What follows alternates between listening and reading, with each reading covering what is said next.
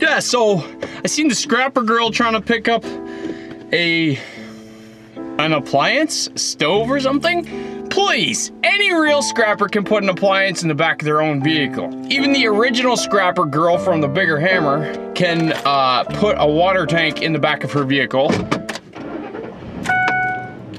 gonna show you guys how to do it. totally the proper way to put a dryer on the back.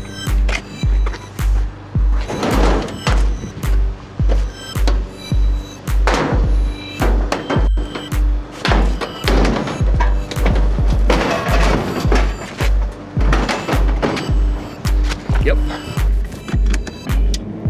In your face! Oh yeah, that was good. Was some good times. Good times.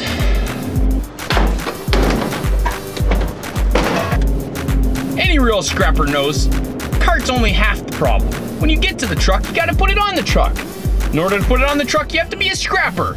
And only scrappers know how to move appliances very, let's say, easily. Because delivery guys of appliances that move them every day, they usually can't damage them. But if you pick something up and throw it, sometimes it's really easy to throw it. Man. So I'm borrowing a camcorder for the week. My camcorder has been sent back to the original manufacturer to see, hey, what's up? Um, yeah.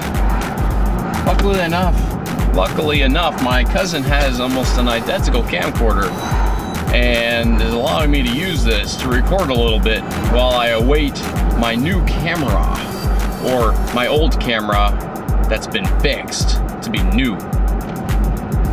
Whatever. Okay, bye.